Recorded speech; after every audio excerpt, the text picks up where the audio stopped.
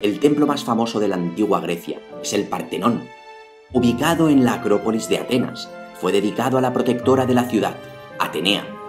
Fue construido a principios de la segunda mitad del siglo V a.C.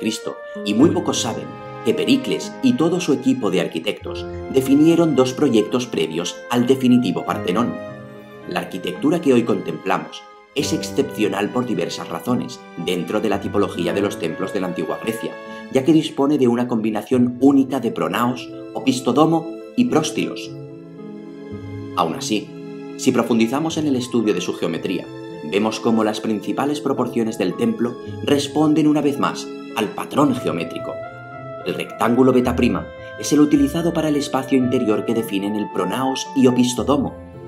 Esto no se puede otorgar a la casualidad, ya que la columnata que alberga el altar que ubicaba la gran estatua de Atenea también tiene las mismas proporciones.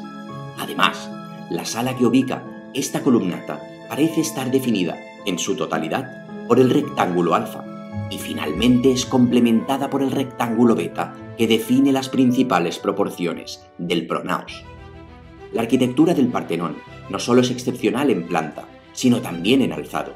Es el único templo griego con ocho columnas en sus alzados frontales, mucho se ha especulado acerca de la geometría de los templos griegos en alzado, así que no podemos dejar de estudiar qué papel tuvo el patrón geométrico en su diseño. Partiendo desde el centro de su fachada, podemos comprobar que en el caso del Partenón, el rectángulo beta, que recordemos que es la base del patrón geométrico, parece definir la altura del templo y su principal anchura. Interpretando este punto de partida, podemos reconstruir el proceso creativo que tuvieron los arquitectos del Partenón.